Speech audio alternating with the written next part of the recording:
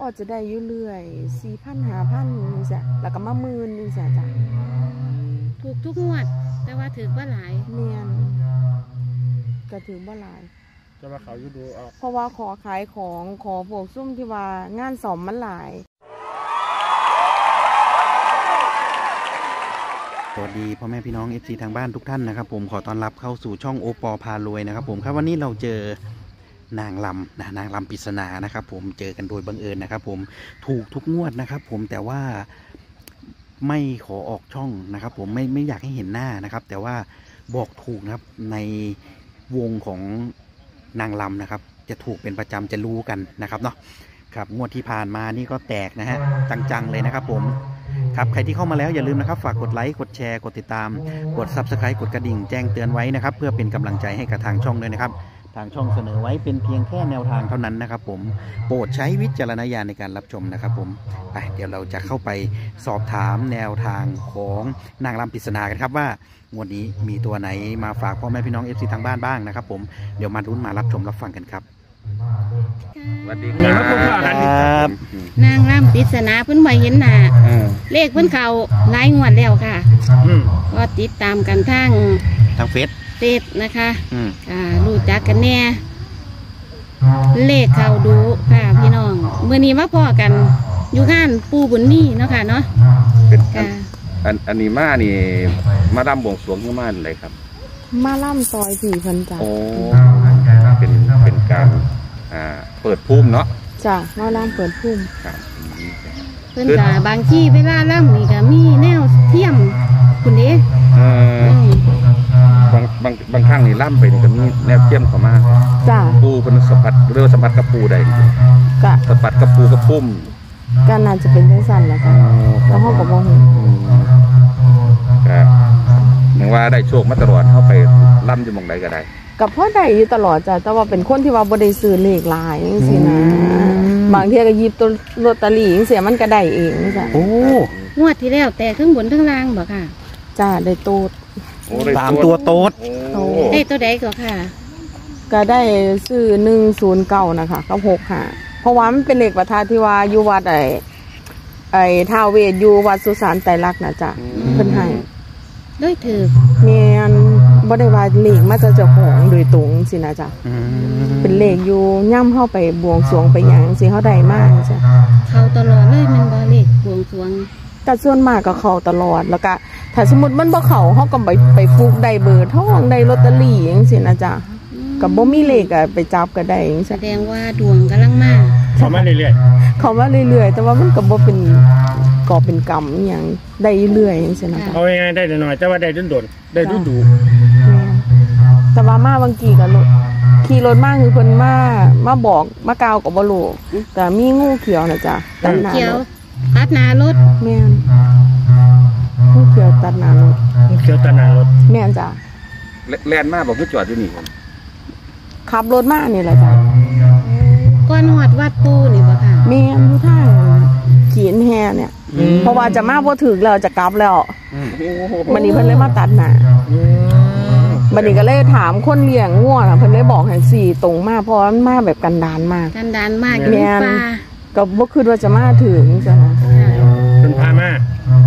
จะแม่นส่งนั่นล่ะถ้าเฮาเชื่อเรื่องนี้เนาะแม่นคันบอกกับคนเชื่อเฮาก็จะเชื่อเรื่องนี้ มันก็จะเป็นจังซี่ล่ะคนจะสิเอื้อนเอาอีหลามาทั้ซึ่งงที่ทูบอยู่นี่มีแต่งูแม่นเพิ่นสิต้อนเพเข้าราะมาว่าที่หนูหนูจะกลับแล้วหนูคือว่าหนูมาบ่ถือเพราะว่า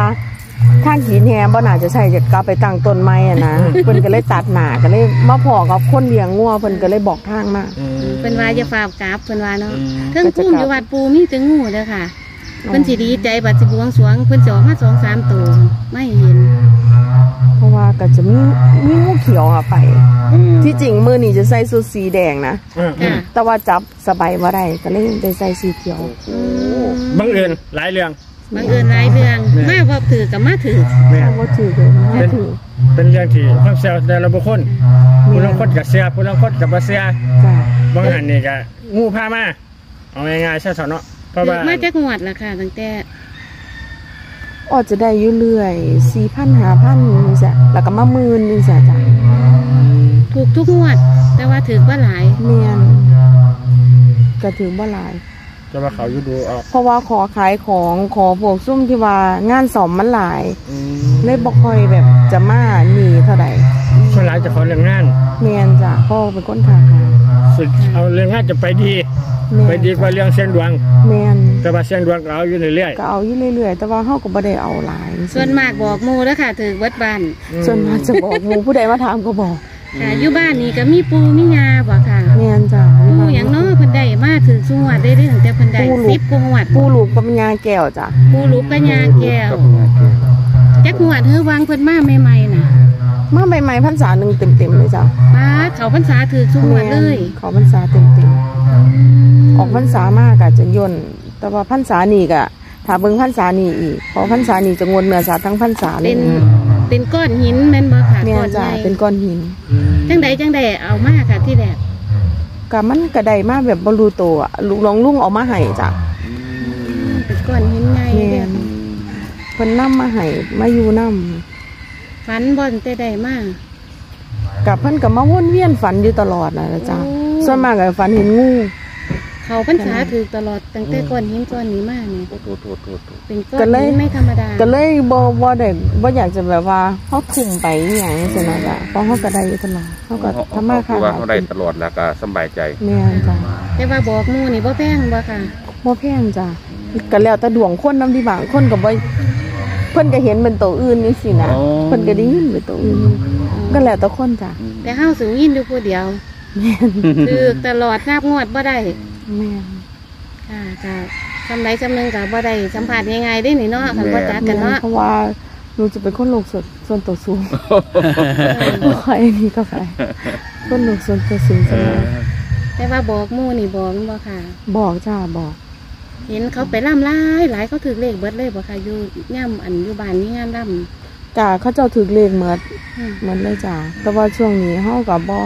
บ่อยากเฮาขาขายเฮาบ่ค่อยหนีสักเท่าใดงวดนี้สิมักตัวใดค่ะคิดว่า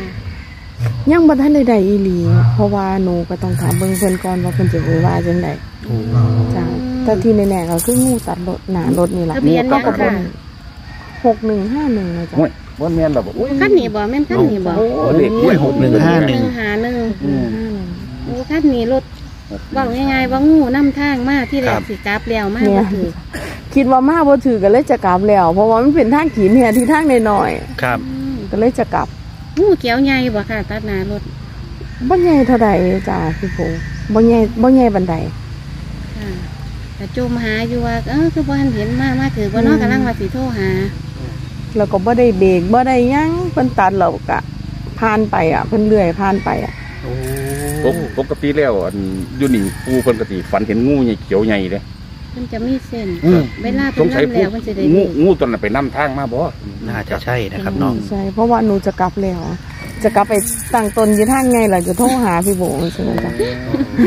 หนูจะกจลัริบงแล้นะวว่าว่าบ่ผิดเหรอค่ะเพราะว่าวัดเพิ่นอยู่กลางดงโอ้อยู่ไกลบ่เออใช่เอออยู่ไกลอยู่กลางป่ากับผู้ใดมาก็เหมืสิอนว่ทางไปนาอย่างนี้นะครับเหมือนทางไปนามันทางไปหน้า มีทางไปให้ไปหน้าเฮานี่แล้วก็คนเลี้ยงงูก็บ่เลี้ยวเห็นเด้เพิ่งเลี้ยว เอ้างูตัดไปก็ก็เลี้ยวเห็นเพิ่นจริงๆนะครับเพิ่นก็เลยบอกให้เหมืมาอนทางปาฏินี้หาริย์อืมแม่นอีดีค่ะอยู่ งวดมื้อนี้ก็ทะเบียนรถเด้อฝากพี่น้องครับสอบผมจังตาม6151ค่ะ ครับหนึ่งขั้นนี้บ่ค่ะหกห้าห้าหก เป็นทะเบียนรถนะครับ ผมที่งูตัดหน้านะครับเนาะหกหนึ่งห้าหนึ่งนะครับ ผมให้พ่อแม่พี่น้องเอฟซี พิจารณาดูหรือว่าตัดเล่นเอานะครับ อาจจะเป็นหกหนึ่งหกห้าหกหนึ่งหนึ่งห้าห้าหนึ่งก็ได้นะครับ ในภายในสี่ตัวนี้นะครับเนาะครับอันนี้ก็เป็นนางล้ำปริศนานะครับ ผมงวดที่แล้วแตกสามตัวโต๊ดนะครับ ผมเอายังไงก็ต้องขอขอบคุณพ่อแม่พี่น้องทุกท่านนะครับ ที่ได้รับชมรับฟังจนจบคลิปนะครับ ผมคลิปนี้ขอจบไปเพียงเท่านี้ครับ ผมเจอกันคลิปหน้าครับ สวัสดีครับ